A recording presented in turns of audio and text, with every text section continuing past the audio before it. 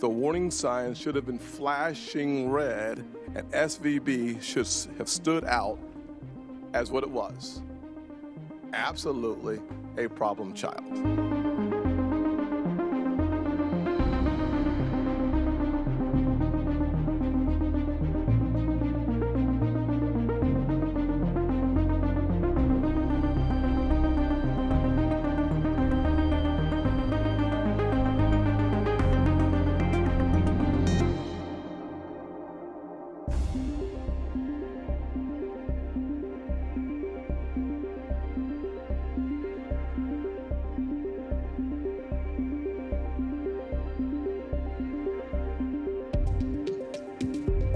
Many ways, it's similar to what we saw um, in past crises, panics. There's a mix of managerial incompetence by banks, but also places where the regulations may not have been where they needed to be, and the regulators not always taking the steps they need to do it. We're obviously doing a review to see what went wrong.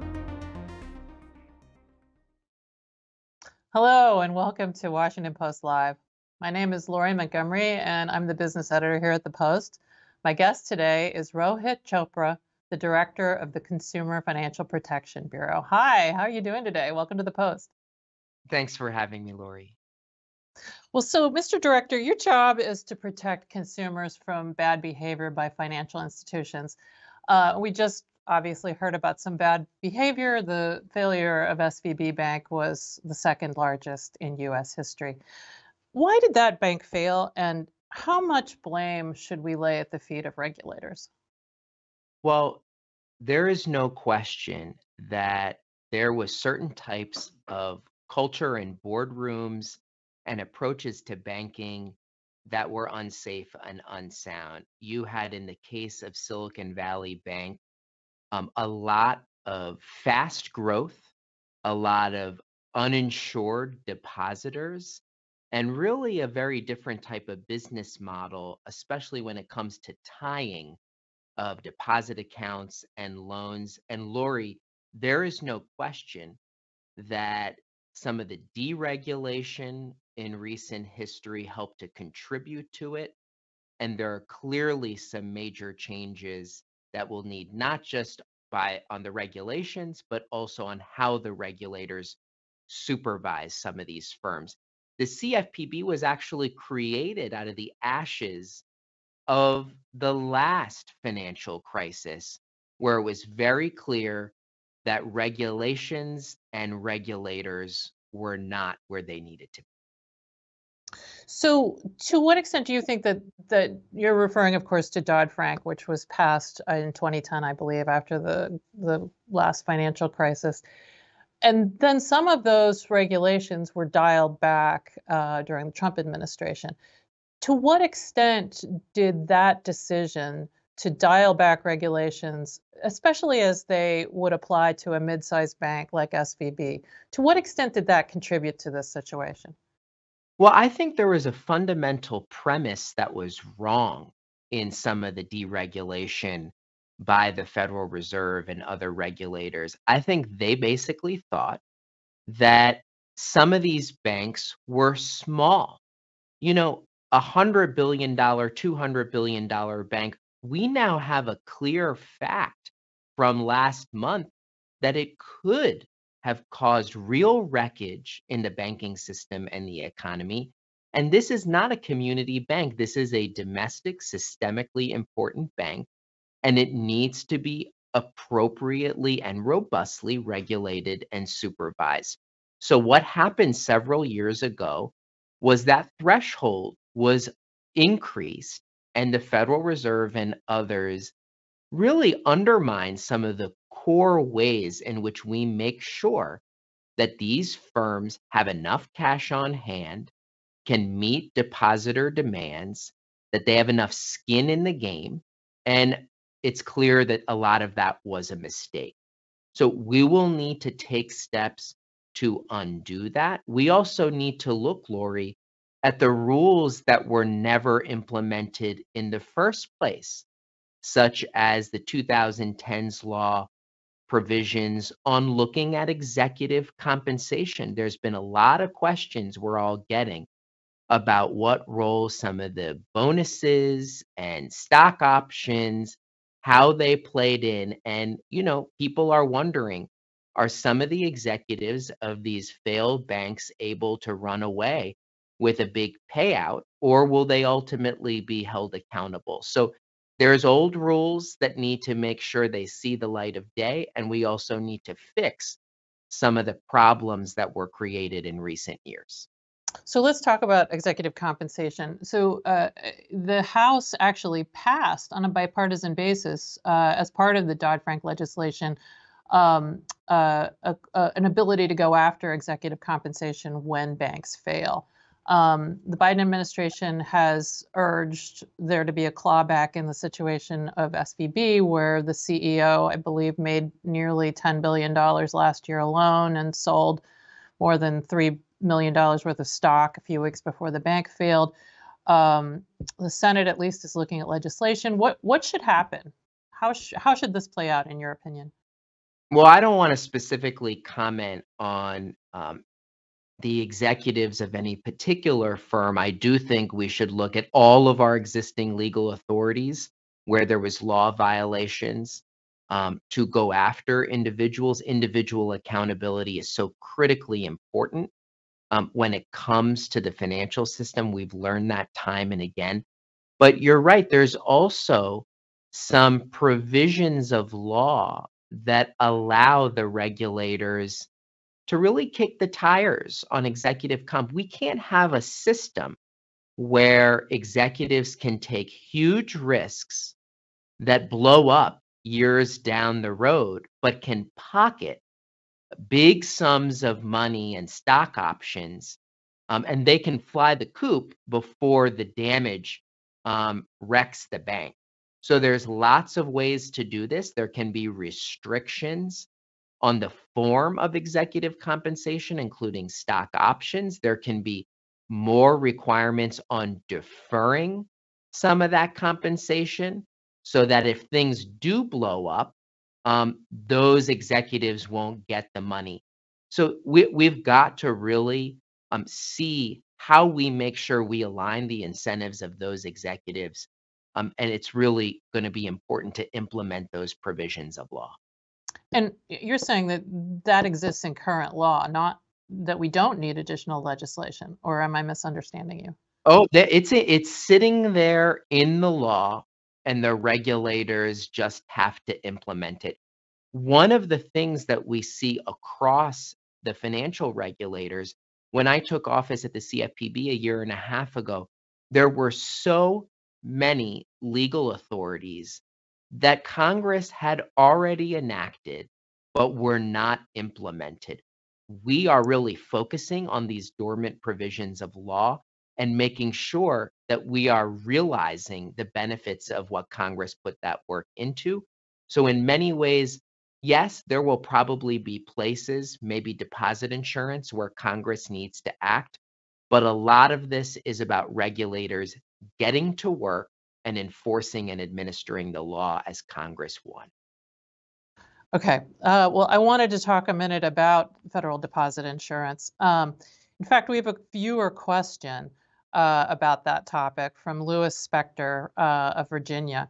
He asks, why did the FDIC agree to back all of Silicon Valley's bank, the Silicon Valley Bank's depositors, removing the risk for all uninsured depositors? Can you address that?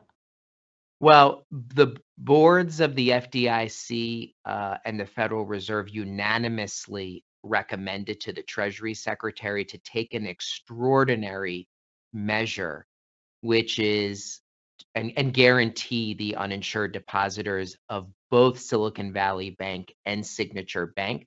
After Silicon Valley Bank had failed, um, we immediately started seeing um, major flows of uninsured deposits throughout the banking system. And there was a real concern and a credible threat that there could be a cascading effect on other banks that could fail. Um, we ha- we really saw that a bank of that size, even if it was just a hundred or two hundred billion dollars, really could threaten um, the stability of the financial system. We are now working, uh, and the FDIC chairman has stated that we will be looking about how we build the costs of this to the financial industry. Um, he has mentioned that we will look at targeting the costs and the assessment of those costs on the financial institutions that most benefited from it. And you can stay tuned to hear more on that. But it certainly was um, a difficult decision, uh, but it was one that really put into focus the places where our regulatory system has made some fundamental errors of judgment, like thinking that a $100 billion bank could not cause real harm to the whole economy if it failed. That decision was unprecedented. What, how can we think about this in a way that, I mean, are all deposits effectively insured at this point? Would we ever not uh, take this action, if you understand what I'm asking? Yeah, well, the law tells us that we have to make this on a case by case basis. And I think it has rightfully invited questions about the deposit insurance framework. You know, right now, for the very these very large banks, if the market and depositors believe that they get free unlimited insurance, that's not really fair to the smallest banks where there might not be that perception. Now, obviously, we want to assure everybody that their money is secure. We are laser focused. Every regulator, I'm most focused on consumers, but all the regulators are looking at making sure the system is safe. But it is true, there is um, a need to look at the deposit insurance framework. Last year, we uh, even saw how certain crypto firms might have been misrepresenting um, that their their funds were insured. Obviously, that wasn't true. We've taken some steps to address that. There's a lot of questions from businesses who, let's say, uh, have a lot of payroll um, that might exceed the inc- uh, current deposit insurance limits. They they want to know what's an easy way for them to manage that. There's a lot of proposals. The FDIC is going to be preparing a report on this. I personally think that there may be a place where we can give um, higher limits that banks would pay for in insurance premiums for these types of payroll accounts um, so that small businesses, other businesses can can keep their money safely and really make sure I think it maybe should be tailored to non-interest bearing accounts that are really for these payroll um, like accounts. What we saw and what we're learning from Silicon Valley Bank and others is that there was all sorts of unusual arrangements um, where you know you got venture funding, you also put your funds in that bank. We've got to look at it in the totality, and I really wonder whether the smallest banks, or at least the ones that are not gigantic, we may even want to think of having different rules for them where maybe they can accept some of these higher insurance coverages because when they fail, it's a lot easier to contain the damage to the rest of the economy. And often um, the impacts on consumers and businesses is much more limited and much more manageable. So we may want to think hard about whether there should be different insurance limits for those payroll accounts that are in um, not that are in smaller banks.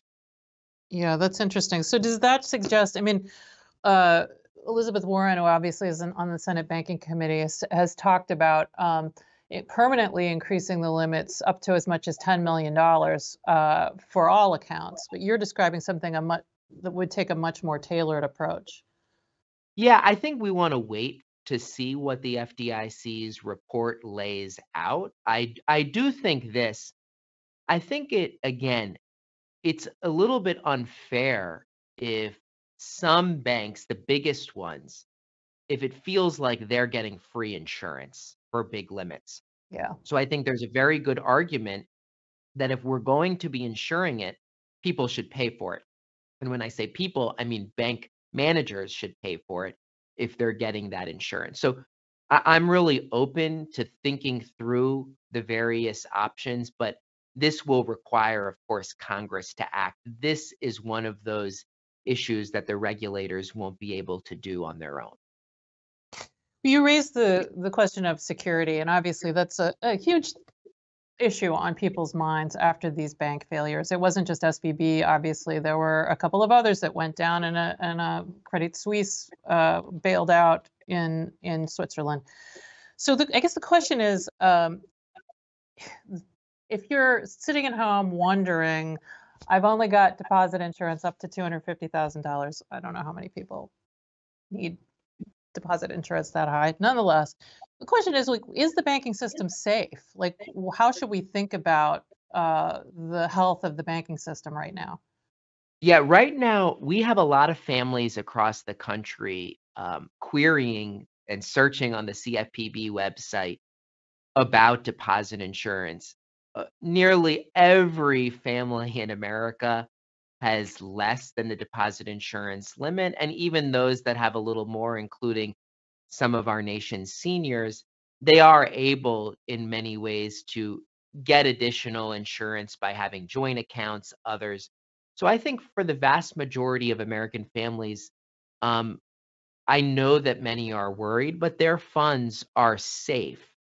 I do think, though, that as I mentioned before, there are certain types of accounts, um, even including in Main Street businesses, where they want to know where should they be keeping their funds, nonprofit organizations, others. We have seen a huge flow of deposits out of the banking system in the last several weeks to money market funds and other types of investment vehicles. In some ways, we want to give everybody a sense of how to make sure that their money is safe. Um, we saw in the blow up of FTX a lot of people um, r- losing quite a bit of money and thinking that those funds were secure. And I think it, it behooves the regulators and all of us to make sure we're doing everything we can so that families and local businesses do not suffer. Does it feel like um, it, it? Does it feel like the moment has passed, or are there other banks that are on the radar as sources of concern? You know, I like to take the view that our financial system and we've learned this from the banking panics over the last century, you know, runs can happen.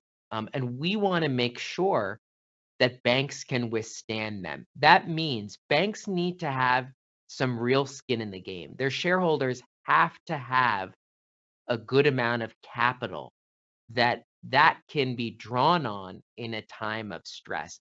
We need to make sure that they're liquid and that they don't have you and don't have to engage in fire sales. So it's clear that it's not just about deposit insurance, it's also about making sure that we are managing the risks that can in some ways um, can be unpredictable. COVID obviously was not something that people could easily plan for. We now know with faster digital communication, we know with state and non-state actor interference, there can be lots of ways in which information or wrong information can travel quickly and we have to set the regulatory system up appropriately. I'm very worried and I don't have any concerns that it could happen at any moment, but I think a lot of people are storing money in peer to peer apps and online payment systems. You know, apps like Cash App and Venmo, PayPal have become part of the digital wallets of so many Americans, but many may not know that those, whether those funds are insured or not. I would not want to see um, a run where people could not get their money. So I think as we see more digital currencies, we see a potential of stable coins and other money like instruments. We, as the regulators, have to stay ahead of the game because we want families and businesses to know that their money is secure. Um, from attacks, from runs, and instability. Well, that's one of the things I wanted to ask about SVB. I mean, one of the reasons that that run was so devastating is because um, we do live in a digital world. There was panic on social media. Um, there were calls to get out now while you can. And people were able to, with the touch of a button, make withdrawals almost instantaneously. The result being that $42 billion were was attempted to be withdrawn from that bank in a single day. We've we've never seen anything like that. How does any bank withstand a run like that? Well, I think this is in some ways uh, a reality that we can't fully stop when it comes to the fast moves of communications and actions. We already have so many ways that people can transfer money. We have real time payments, and that's only going to accelerate. One of the things the CFPB will be proposing later this year is rules that will accelerate the move to open banking in the US, making, I hope, switching of products more seamless. We're seeing this all over the world, and that has real implications for how we ensure that banks and other institutions are liquid and have skin in the game. And, you know, I do think, Lori, that with the right oversight, they would be able to withstand those demands. But of course, I don't think there's a way to put the genie back in the bottle when it comes to 24 7 fast communication. It's a reality we must accept and incorporate accordingly. Yeah, I want to go back to what you were just saying about uh, Venmo. Um, so people are storing money in these apps. Talk a little bit more about the risk you described. Well, so one of the things that people have long used in our country, and and and it's used, you know, every day, is what's called money transmitters. Often we think of it as sending money, um, you know, overseas, an, an international remittance. But many of these companies that are registered as remit as money transfer services, they are actually peer-to-peer apps. Uh, they're growing in popularity and especially during the pandemic experienced more growth. And many people have downloaded these apps on their phones to not just pay their friends, but also to make other purchases. It's often, but not always, connected to their bank account. And instead of just moving money from place to place, a lot of customers have balances. People can look at their app for their PayPal or Venmo or Cash App balance. And many people think of this as it's like a bank account, it's a place I can store funds. But the reality is, it's not like a traditional bank account.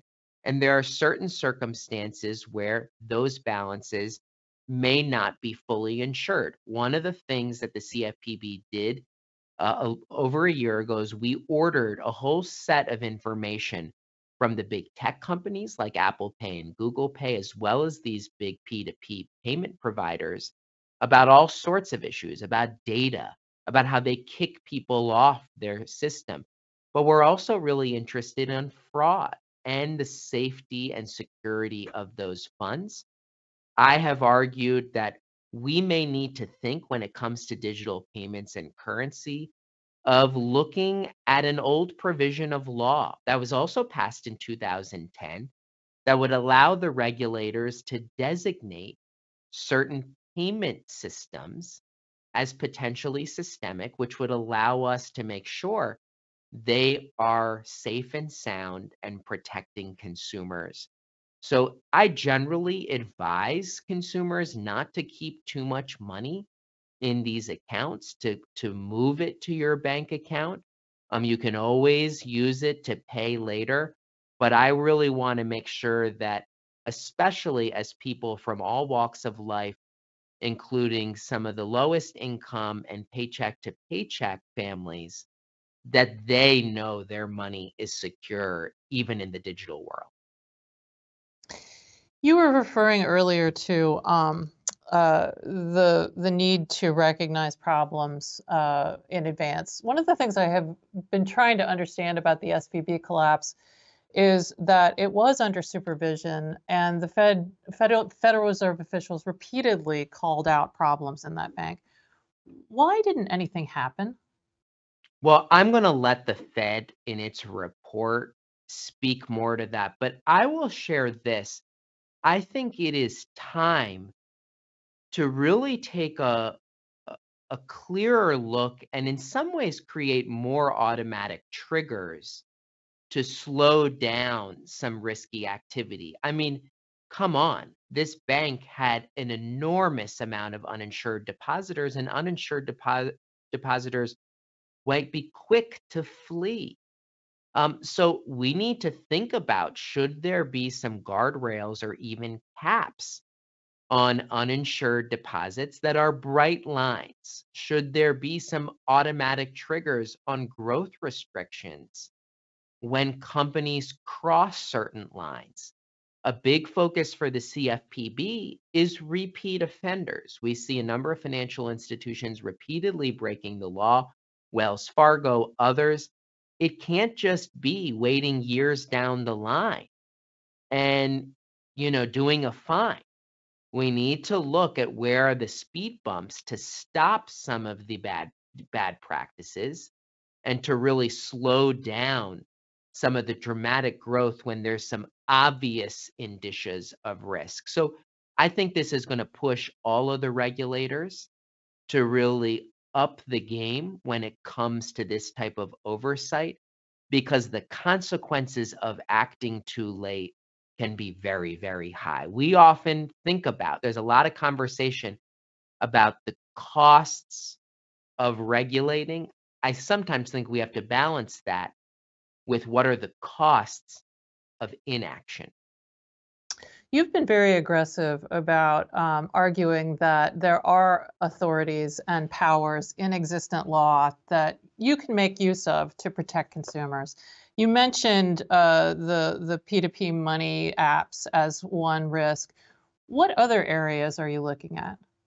What Well, other areas do we be concerned across the board, we really think at the CFPB that technology and the future of consumer finance, we really are in the moment of trying to make sure with the public, with policymakers, with the industry, how do we want to make sure that that future is in line with our values? So I talked a bit about how do we make sure we have an open banking system that's fair and not just dominated by, say, big tech firms and the very biggest banks. We're looking hard at these non bank companies who are often not supervised in the same way, giving the same level of protection and we've taken some steps to make sure we're gaining oversight into some of them. Relationship banking, we see that digitization can sometimes undermine relationship banking that that stymies a consumer from getting answers to basic questions. We're looking at algorithmic bias and using existing authorities to make sure in appraisals and in the mortgage market people are not dealing with a biased algorithm. So I think the future is in many ways very, very promising. But every single day, families are learning about new ways artificial intelligence is being used, how their data is being harvested.